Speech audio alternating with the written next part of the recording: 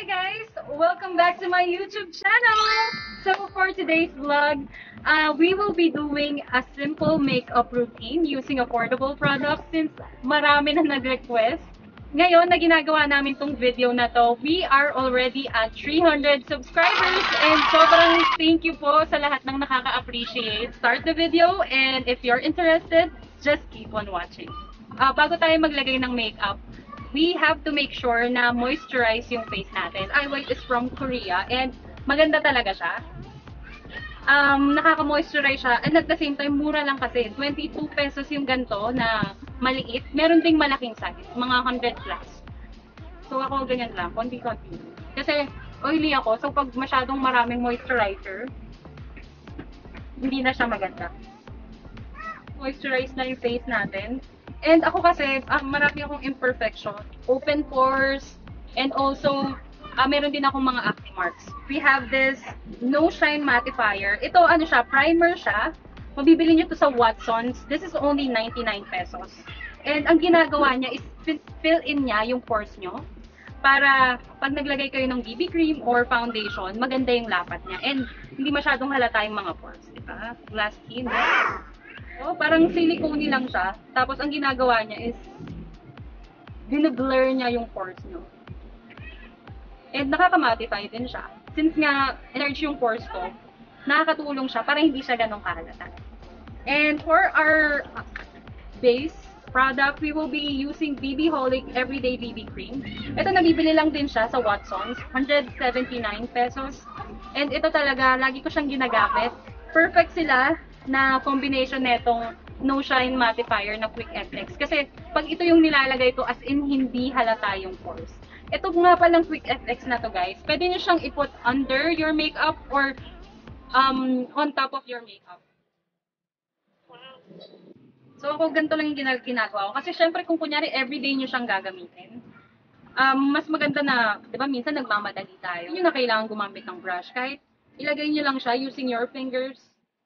So yan, ako ganyan lang yung ginagawa ko. Dinadat-dat ko lang siya. And eto, hindi ko masyadong nilalagay ng marami.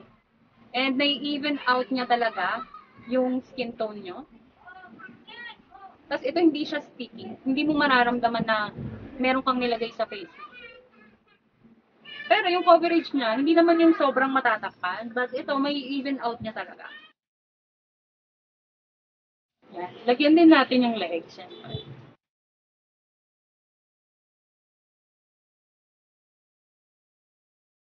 Thank you nga pala sa mga nagko-comment and mga nagsusubscribe sa channel ko.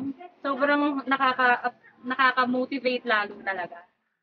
And guys, for our concealer, we will be using this Fit Me concealer in the shade Sand. So, ayan, konti-konti lang. Ngayon naman wala akong masyadong pimple mark. So, ayan na, okay na. yan. Tapos i-blend lang natin using our fin- fingers.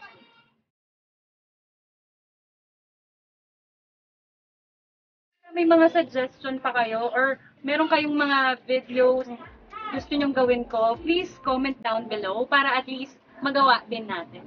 Yan, okay na naman. Next is, para hindi siya masyadong shiny, we will be using Johnson's Baby Powder para iset yung makeup natin. Ako, mas gusto ko to pag everyday makeup lang. Kasi para fresh-fresh lang, di ba? Minsan mas maganda pag ah, konti lang yung nilagay nyo. Kasi pag masyadong marami, minsan mas nag-i-irritate yung face. So, blend lang ulit natin using our fingers. Tapos na tayo dun sa base natin. And ngayon makikilay naman tayo. This is my one of my favorite. This is better than basic. Yung sa Caroline Best Brow Liner. Ito yung itsura niya. And I'm using the shade to. Yan. This is more on ashy na brown. So, kung magkikilay kayo, unahin nyo muna yung sa baba. Ilayin nyo muna siya. Ganito. Nakikita nyo ba, guys? Lapit akong konti. Ayan. Ilalayin nyo muna yung dito sa baba. Then, saka nyo i-fill in yung dito.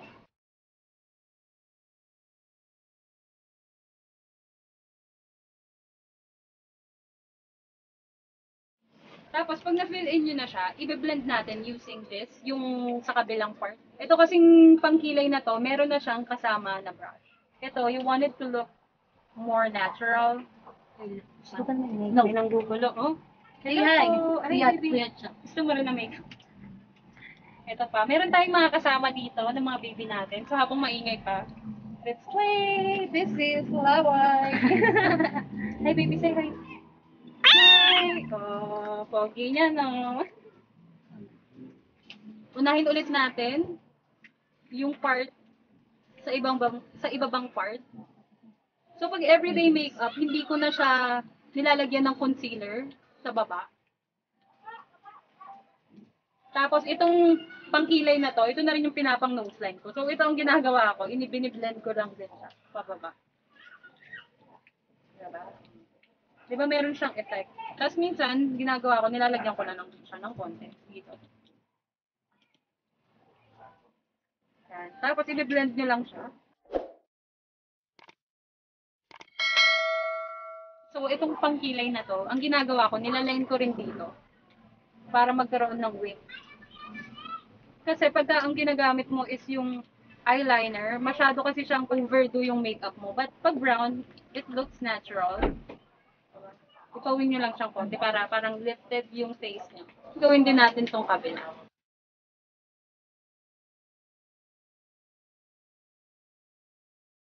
Medyo i-smudge nyo lang siyang konti.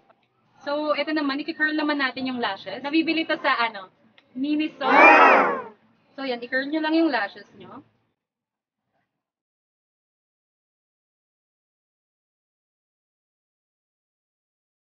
Kung makikita nyo, ang laki ng difference dito sa isang mata ko at saka dito. Kasi na-curl na natin siya.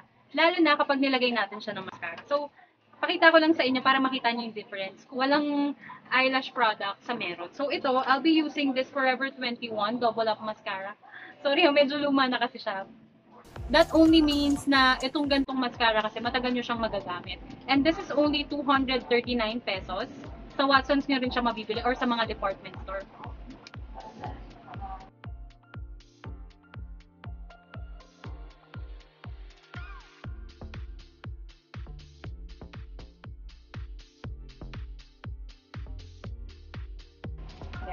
So, tignan niyo yung difference.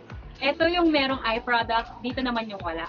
Maganda siya kasi parang binubuhay niya yung mata nyo. Diba? So, gagawin ko lang yung kabilang eye.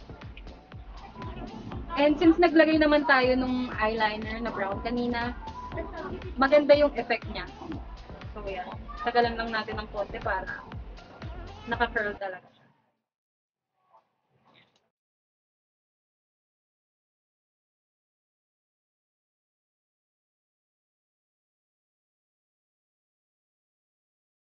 Ang next naman natin gagawin is yung blush. So for today, we will be using this Blush Rush Cheek Roller ng Everbilena. Ito yung itsura niya, guys. I also use this for my lips. Kasi maputla eh. So, naglagay na rin tayo. So, tignan lang natin na kung okay siya on top of the powder. Kasi nag-powder na ako kanina. Baka hindi natin siya ma-blend ng maayos. But let's try. Hmm, Takot ako baka hindi mag-blend. So, lagay ko muna siya dito. Tsaka natin siya i-blend. Ngayon ko lang kasi ito gagamitin. Dahil kakabili ko lang sa. Pero parang okay naman yung color. Nandito naman sa kabila. That pag gumagamit kayo ng mga ganito na product, bibilisan nyo. Kasi minsan hindi siya mabilis mag-blend.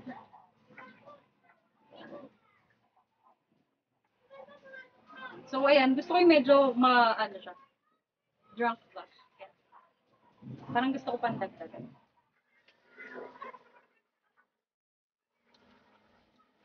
Dagdagan pa natin ng konti.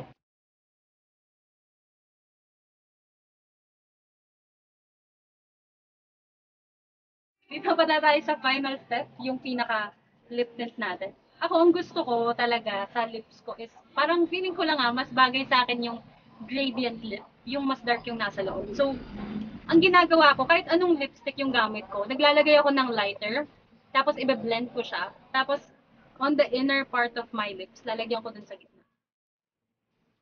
So, ito, I'm using Girl Boss in the uh, HD matte in the shade Crimson. So, yan. Ibe-blend ko lang siya. Diba? Parang ano ka lang. Good girl. So yan guys, ipa-finalize ko lang yung look natin. And I'll be right back.